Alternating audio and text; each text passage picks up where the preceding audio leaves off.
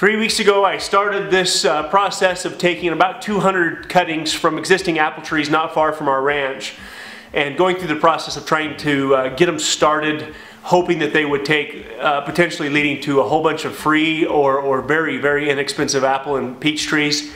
And the results so far, I'm super happy with. Now, uh, based on what I read and uh, the information that I gathered, um, we're, we're, definitely not, not out of the woods yet. But if you didn't see our first video, I'll put the uh, video at the end of this video and, um, and kind of show the process of, of getting them started.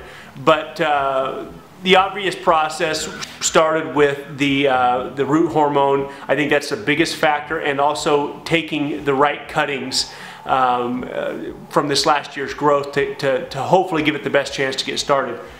Um, I would water the uh, apple and peach trees every about every other afternoon. In the beginning, I kept them pretty moist. Um, they're kept here in the garage. They're not getting direct sunlight.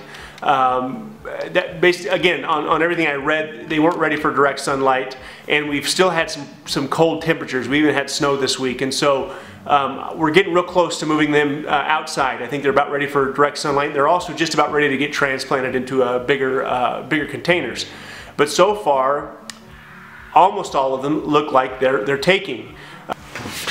So I, I marked every one of the cups with basically whether it was a peach, whether it was an apple, even from the tree that I got it from, whether it was a red apple, red apple or a yellow apple, whether it was a late or early uh, uh, producing tree um, trying to identify where they came from. So again, if this did work, I can go back and get more cuttings next year.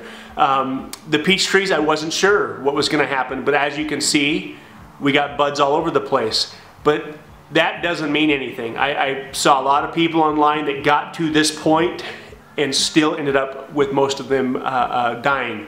So, uh, but, but again, I'm optimistic. I'm, I'm, I did not think we would even get to this point. Matter of fact, one of the trees that I thought was dead, I pulled out of the uh, soil last night, and let me show you what I found.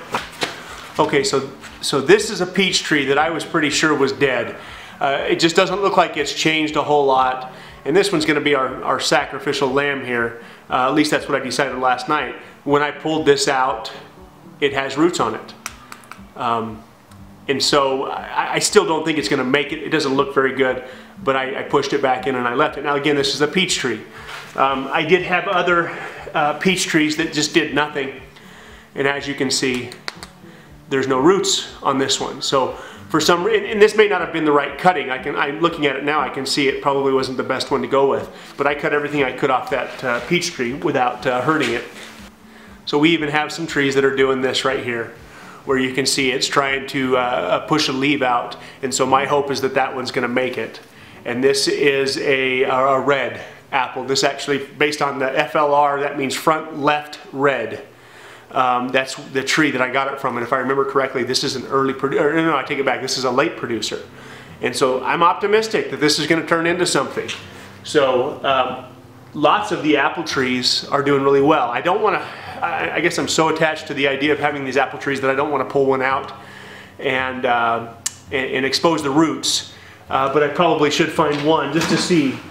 So you can see lots of these apple trees have this gray fuzz type stuff. And the buds are coming up all around it. So, um, you know, like I said, I'm pretty optimistic that we're going to get something. But even still, the downside is I don't know for sure which ones of these are going to be uh, production trees or, or dormant, frankly. And in some cases, it may take years, as long as 10 years, to figure that out. But I have enough room on my property. I'm willing to take this gamble. Um, we did also find a local nursery about uh, 10 miles from here uh, that was very familiar with our property up there, or at least the location.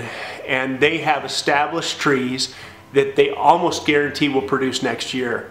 Um, somebody online uh, made that comment, uh, told me that, that they'd had a, a, tremendous amount of success with these, uh, with this nursery, and so I'm still probably going to go down there and buy uh, six or eight apple trees uh, and maybe put these somewhere else on the property. But I'm optimistic. So the next process is going to be transplanting these into something a little bit more established, a, a little bit bigger, uh, so we don't end up getting a root, the root entangled. Um, and then it's, it's, they're going to stay that way for quite some time. We'll keep watering them. I don't know if they're going to get in the ground this year. It's probably better that I don't put them in the ground this year uh, with all the work that we're going to be doing around there. Maybe spring of next year they'll be big enough and, and established well enough where we can get them in the ground.